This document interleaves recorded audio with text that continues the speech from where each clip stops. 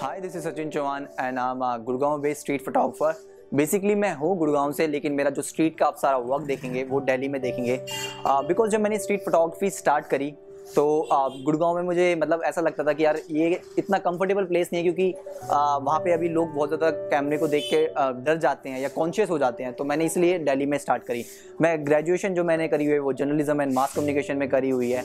और उसके बाद मैंने एक महीने का जो है एक इंटर्नशिप भी किया था टाइम्स ऑफ़ इंडिया में मैंने दिल्ली में ही काम किया था उसके लिए। बट चीज़ें कुछ इस तरीके से चेंज हुई कि मैंने वो कंटिन्यू नहीं कर पाया, मैं अपना जर्नलिज्म पाथ फिर मैंने सिर्फ़ प्रॉपरली स्ट्रीट करना स्टार्ट किया और आफ्टर दैट स्ट्रीट करते करते मैं करीब मुझे चार से पाँच साल हो गया है। और right now I am a photography teacher in a university Gurgaon में एक यूनिवर्सिटी जहाँ पे मैं एक दो घंटे की क्लास देने जाता हूँ फोटोग्राफी की। सो so, अभी इसी तरीके से कंटिन्यू चल रही है बट मैं उसके साथ साथ अपनी चीज़ें मैंने फिर बाद में यूट्यूब भी ज्वाइन किया और मैं यूट्यूब भी कर रहा हूँ टीचिंग भी कर रहा हूँ बट मैं एक जो चीज़ है जिसको मैं कभी पीछे नहीं छोड़ता जो है फोटोग्राफी क्योंकि जो मेरी सारी चीज़ें हैं वो कहीं ना कहीं इंटरलिंक्ड है उससे। मेरे को जो भी मिला है अभी तक जैसा भी मिला है मुझे सब कुछ वो फोटोग्राफी से मिला है। गाइज़ uh, मैं स्ट्रीट फोटोग्राफी करीब चार या पाँच साल से uh, कर रहा हूँ और जिसमें मुझे जब मैंने उसकी डेफिनेशन पढ़ी तो उसमें लिखा होता है कि street photography is all about candid movements और आई थिंक यही मुझे सबसे ज़्यादा उसमें मतलब मेरे को अट्रैक्ट करता है कि हाँ आप किसी प्लेस पे गए हो और आपको कुछ नहीं पता है, ठीक है? आपको सिर्फ़ जाना है, वहाँ पे कैमरा लेके और अपने हिसाब से सारी सिचुएशन वहाँ पे ऑब्ज़र्व करके क्लिक करना है। तो जो सारी मूवमेंट्स है, वो कैंडिड है। तो जो उसकी कैंडिडनेस है ना, वही स्ट्रीट फोटोग्राफी की सोल है और वही मेरे को सबसे ज़्यादा जो है अट्रैक्ट करती है स्ट्रीट फोटोग्राफी में। गाइज़ होता क्या है कि मैं जब भी भी स्ट्रीट फोटोग्राफी करने निकलता हूँ तो बहुत बार ऐसा होता है कि वेदर सही नहीं होता या कुछ चीज़ें हो जाती हैं आपकी लाइफ में, उससे कनेक्ट नहीं करती कि यार आज ये काम है, वो काम है। बट मेरे, जो सबसे ज़्यादा मेरे को इंस्पायर करता है वो है नेचर यानी कि कोई भी सिचुएशन है, कैसी भी सिचुएशन है, बारिश को आना है तो वो आएगी, ठीक है? धूप को निकलना है तो वो निकलेगी, उसको इट डजेंट मैटर कि मेरी तबीयत ख़राब है, ये ख़राब है, वो ख़राब है, उनका कोई एक्सक्यूज़ नहीं होता। तो मैं, मेरे को कहीं ना कहीं उन चीज़ से इंस्पिरेशन मिलती है, चाहे बारिश हो, धूप हो, आंधी हो, अगर मुझे स्ट्रीट फोटोग्राफी करने निकलना है तो मुझे निकलना है। और आई थिंक यही जो चीज़ है, यही मेरी कंसिस्टेंसी जो मेंटेन होती है स्ट्रीट फोटोग्राफी में, इसी चीज़ से होती है। अगर ये माइंडसेट आपका है, तभी आप कंटिन्यू कर पाओगे, नहीं तो एक्सक्यूजेस बनाने के लिए तो बहुत सारे बहाने बन जाते हैं। बट जो नेचर है, वही मुझे सबसे ज़्यादा इंस्पायर करता है स्ट्रीट फोटोग्राफी के अंदर। वैसे एक और चीज़ मैं मेंशन करना चाहूँगा कि हर किसी का एक वो रहता है कि यार आपकी इंस्पिरेशन क्या है कि बहुत सारे लोग क्या करते हैं फोटोग्राफर्स के नाम लेते हैं। बट आई थिंक मेरे को ऐसा लगता है कि मुझे कभी भी फोटोग्राफर्स मैं इंस्पिरेशन फोटोग्राफर से नहीं लेता। मैं लेता हूँ फोटोग्राफ से। क्योंकि एक अच्छी फोटोग्राफ एक जो एक साल से या दो साल से फोटोग्राफर क्लिक कर रहा है, वो भी क्लिक कर सकता है और एक जो बीस साल से कर रहा है, वो भी क्लिक कर सकता है। बहुत बार हमारा इस तरीके का माइंडसेट हो जाता है कि अरे यार, ये जो इसने मतलब हम जज करते हैं फोटोग्राफर को उसके एक्सपीरियंस से। यानी कि किसी बड़े फोटोग्राफर ने फोटोग्राफ क्लिक करी है तो अच्छी करी होगी और किसी मतलब न्यू कमर ने करी है तो इतनी मतलब ठीक है नॉर्मल है। हम उसको इतना प्रेज नहीं करते। तो मुझे हमेशा जो इंस्पायर करती है वो फोटोग्राफ इंस्पायर करती है। मैं कभी भी किसी फोटोग्राफर से नहीं, बल्कि फोटोग्राफ से इंस्पायर होता हूँ। गाइस जो पेंडेमिक हुआ, उसमें बेसिकली हम सब जो है एक मैं, मेरा एक प्रोजेक्ट मैंने निकाला पैंडमिक टाइम पे ही बर्ड बॉक्स और उसमें मैंने क्या दिखाया कि हम किस तरीके से मतलब मैं अपने घर में रहा, आठ, नौ महीने मैंने किस तरीके से स्पेंड किए। तो मैं ये नहीं बोलूँगा कि जो पैंडमिक है, उसमें मेरी फोटोग्राफी रुक गई, मैंने वहाँ पे भी वो कंटिन्यू रखा। हमें सिर्फ़ पार्ट ढूँढने हैं, चाहे आप एक कमरे के अंदर क्यों ना बंद हो, आपको ढूंढना पड़ेगा कि मैं यहाँ पे भी अपना क्रिएटिविटी जो है फोटोग्राफी से किस तरीके से उस चीज़ को कनेक्ट कर सकता हूँ। और ये जो बर्ड बॉक्स है, ये मेरा किस तरीके से निकला कि मैंने कुछ जैसे पैंडेमिक हुआ, हम सब एक मैं बोलूँगा कि केस में बंद हो गए। तो उससे पहले मैंने तीन चार महीने पहले एक मूवी देखी थी जिसका नाम था बर्ड बॉक्स और मैंने कहा, यार, ये सेम सिचुएशन मेरे साथ हो रही है।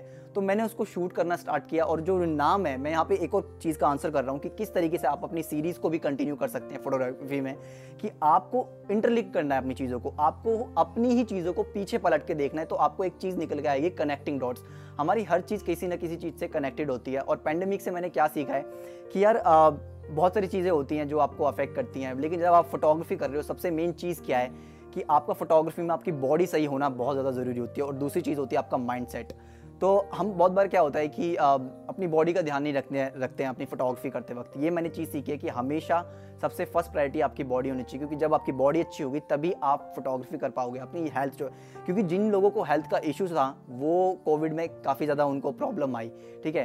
तो मैंने ये चीज़ सीखी है पैंडमिक से कि आपको सबसे पहले तो अपनी हेल्थ का ध्यान रखना है। ये फोटोग्राफी से रिलेटेड नहीं है, लेकिन कहीं ना कहीं उस चीज़ से इंटरलिंक्ड है, ठीक है? उसके, और उसके बाद अपने काम पे जो, उस चीज़ पे ध्यान देना है। और डजेंट मैटर आप कहते हो कि यार आ, मैं यहाँ नहीं जा पाया वहाँ नहीं जा पाया सबसे बेस्ट प्लेस है हम बोलते हैं कि हम किसी ना किसी को कॉपी कर रहे हैं। हम दिल्ली आते हैं या फिर कहीं और जाते हैं तो यार यहाँ पे तो सभी शूट कर रहे हैं। आप स्टार्ट करो अपने प्रोजेक्ट्स अपने घर से। आपको नहीं पता आपके घर में कितनी स्टेयर्स हैं, आपको नहीं पता आपकी मम्मी किस चीज़ को देख के किस तरीके से रिएक्ट करती हैं, आपको नहीं पता। तो आप एक एल्बम बनानी स्टार्ट करो अपने ही घर से। तो मैंने इस पैंडमिक में वो एल्बम बनाई, जो वो प्रोजेक्ट बनाया बर्ड बॉक्स जो मैं आज से आने वाले बीस साल बाद जब मैं देखूँगा तो मैं कहूँगा, यार, ये कितना प्रीशियस टाइम था। तो मुझे नहीं लगता कि कोई भी चीज़ ख़राब थी या अच्छी थी। तो इस तरीके से आप चीज़ों को देख सकते हो।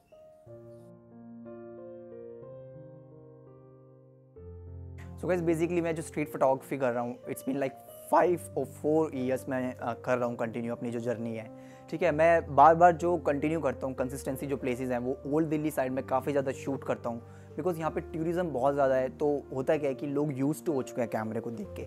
मैं जो बिगनर्स हैं उनको ये बोलना चाहूँ कि जब भी आप स्ट्रीट फोटोग्राफी कर रहे हैं तो आप उन प्लेसेस से स्टार्ट कीजिए जहाँ पे बहुत ज़्यादा लोग यूज़ टू हो चुके हैं कैमरे को देख के। शायद इसीलिए मैंने जो स्टार्ट किया वो ओल्ड दिल्ली से स्टार्ट किया और आज भी मैं ओल्ड दिल्ली में ही सबसे ज़्यादा शूट करता हूँ और मैं इसलिए यहाँ पे ज़्यादा शूट करता हूँ कि यहाँ पे वैरायटी ऑफ़ कल्चर्स आपको देखने को मिल जाते हैं कलर्स और ओल्ड दिल्ली को मैं इतने सालों से कर रहा हूँ पाँच छः सालों से, लेकिन स्टिल मुझे लगता है कि अभी भी बहुत कुछ जो है कैप्चर करने को रह गया है।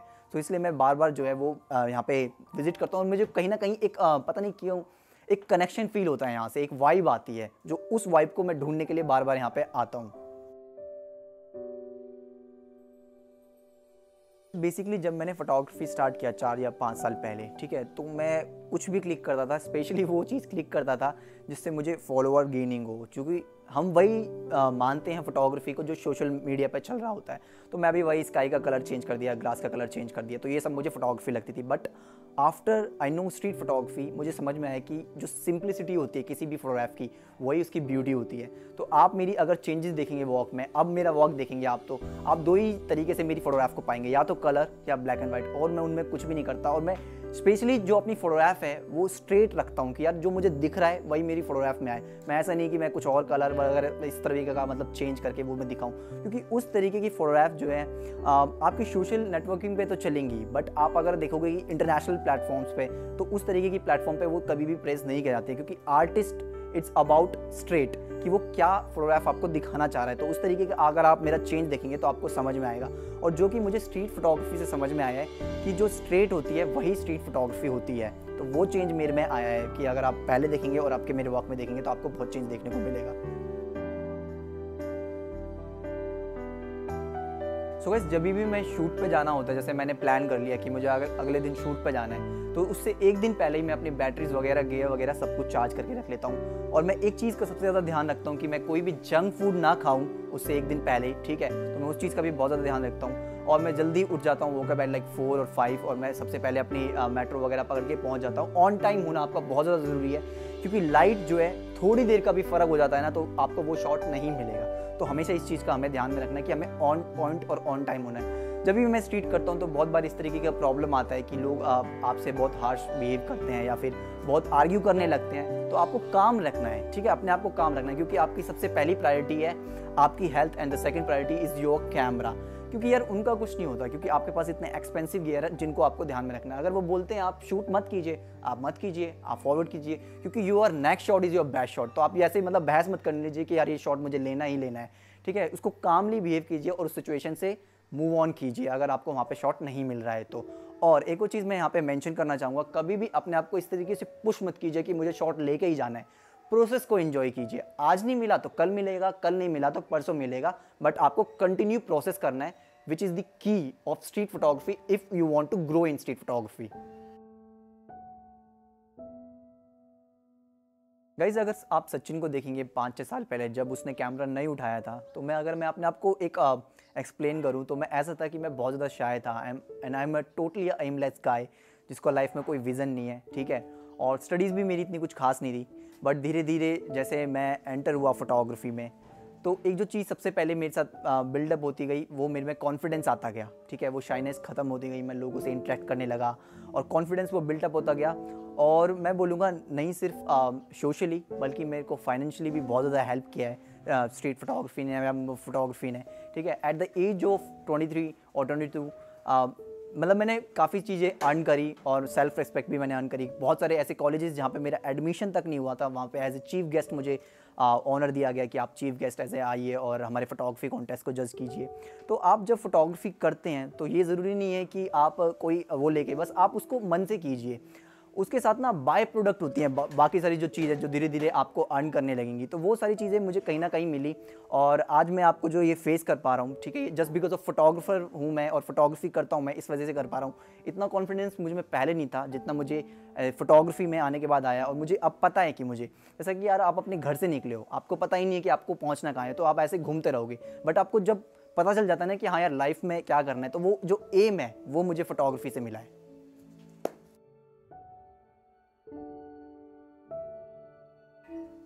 सो गई सबसे पहले मैं बात करता हूँ अपने टेक्निकल की। मैं क्या टेक्निकल में मतलब किसी भी कैमरे में, मैं क्या कैमरा सेटिंग रखता हूँ जब भी मैं स्ट्रीट फोटोग्राफी करता हूँ। सो बेसिकली मैं मैक्सिमम टाइम जो है अपर्चर प्रायोरिटी मोड को यूज़ करता हूँ, जिसमें मैं अपना अपर्चर रखता हूँ एफ़ नाइन या एफ़ इलेवन पे।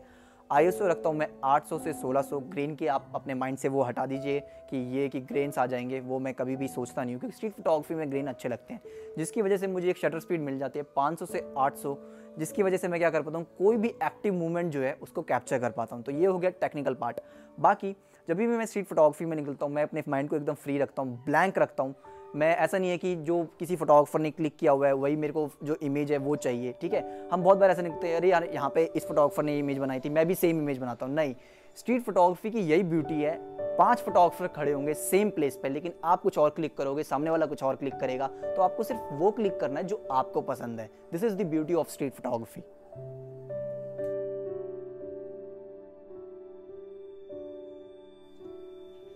guys वैसे तो मुझे अपनी आ, कई सारी जो सीरीज़ है की जो फोटोग्राफ्स हैं वो अच्छी लगती है बट दो फोटोग्राफ अगर मैं मेंशन करना चाहूँ वैसे तो हमारा next shot is my best shot मैं इसमें बिलीव करता हूँ।